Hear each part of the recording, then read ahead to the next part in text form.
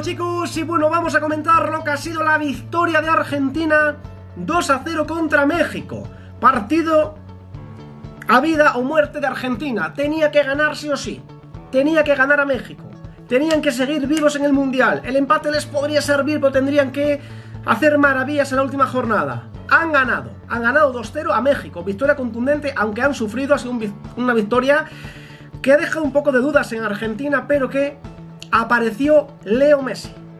El gol que lo cambió todo. El golazo de Messi que cambió todo el partido. Y también la entrada de Enzo Fernández que tiene que ser titular. Venga, vamos con este encuentro. Vamos a ello.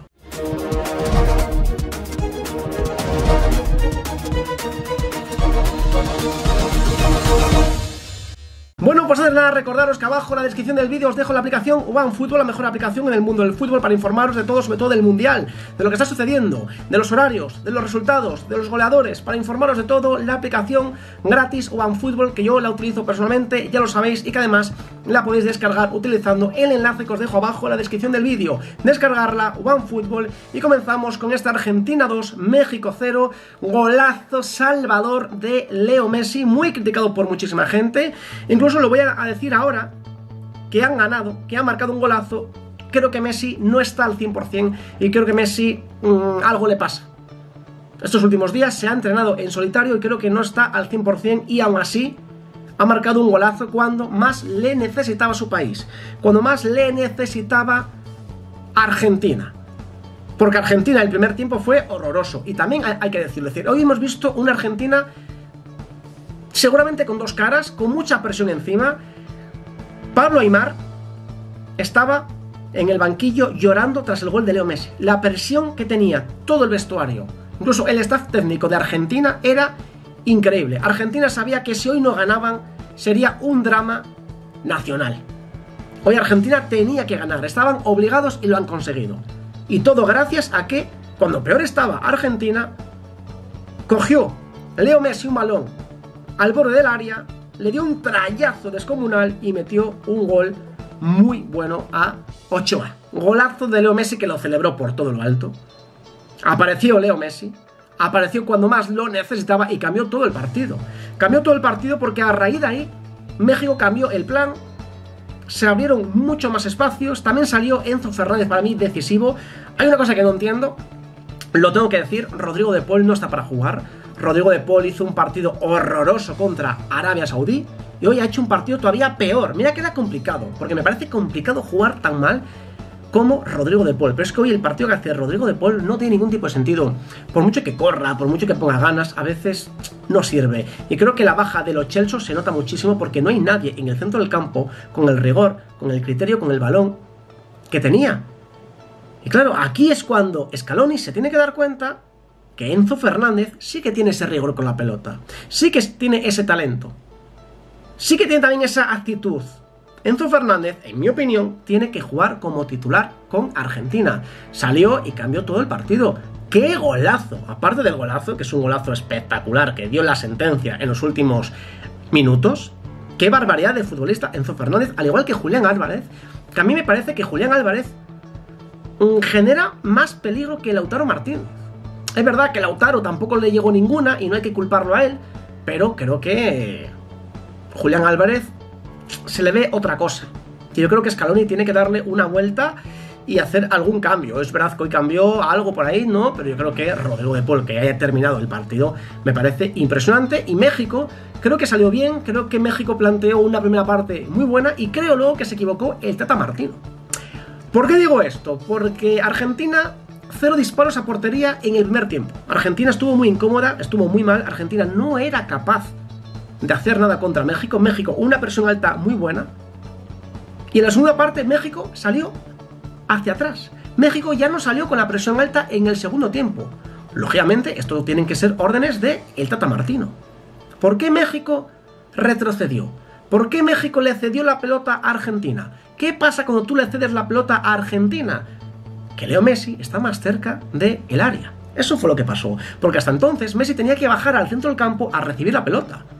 En el momento que México se fue un, un poco más atrás, Argentina leyó muy bien ese partido, Messi más cerca, enganchó una, golazo. Por lo cual creo que el Tata Martino se equivocó en el planteamiento porque le estaba saliendo bien. Le estaba saliendo bien que una... La verdad que una primera parte donde los dos salieron fuertes, mucha intensidad, una presión alta muy fuerte de México, pero pasados los minutos 20, 30 no pasaba nada, muy poco fútbol, intensidad, muchísimas faltas, muchísimas interrupciones. Luego entraría Gutiérrez por guardado que se lesionó. Eh, luego una falta de Vega que la pararía el Dibu y muy poco más, la verdad. Eh, al descanso con el 0-0, muy poco por parte de ambos equipos y Argentina dando una imagen, en mi opinión, muy mala. Cero disparos, muy poco de Di María, de Messi, de todos, no pasaban de el centro del campo. Y el segundo tiempo un poco más de lo mismo. Salía dominando un poco más Argentina, México, como digo, un poco más atrás, pero aún así no eran capaces. Luego contaría Enzo por Guido. Aquí cambió todo.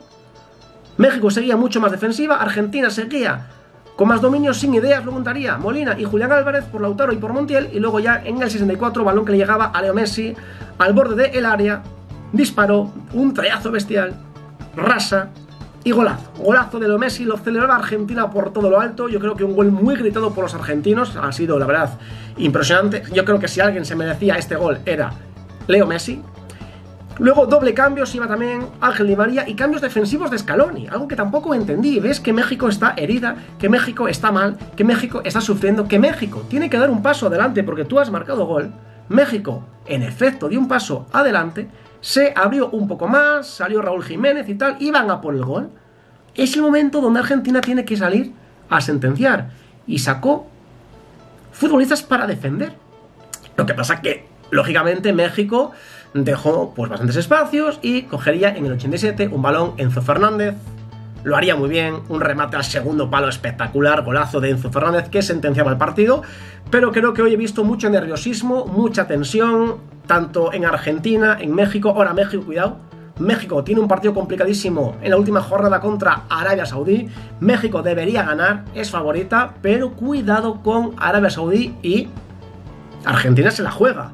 Argentina se la juega contra Polonia. Selección muy dura, selección muy difícil. Vamos a ver qué sucede, vamos a ver qué pasa contra Polonia, porque, bueno, Argentina con un empate podría pasar a los octavos, pero Argentina quiere ganar. Argentina yo creo que tiene que ganar y pasar como primera para por lo menos seguramente evitar a Francia en los octavos de final. Es decir, cuidado con el grupo, cuidado con la última jornada que va a ser una auténtica locura.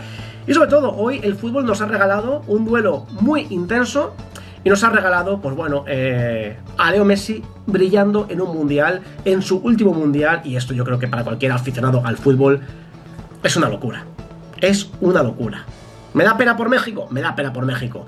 Pero yo como culé, pues hombre, me alegro mucho por el golazo de Leo Messi, porque creo que ya estaba todo el mundo machacándolo, porque es verdad que Argentina estaba jugando mal, pero bueno, al final a futbolistas como él se le pide que cuando el equipo lo necesita aparezca. Y apareció Leo Messi con un golazo. Así que en fin, quiero que me dejéis todo en los comentarios qué os ha parecido, qué os ha parecido este partido, qué os parece lo de Messi, Enzo Fernández tiene que ser titular, Rodrigo de Paul, qué os ha parecido México, Tata Martino, ya sabéis, todo en los comentarios, apoyad este vídeo como siempre hacéis con vuestro enorme like, suscribiros a este canal si todavía no lo estáis, a qué estáis esperando y por supuesto nos vemos en el siguiente vídeo. Venga, un saludo.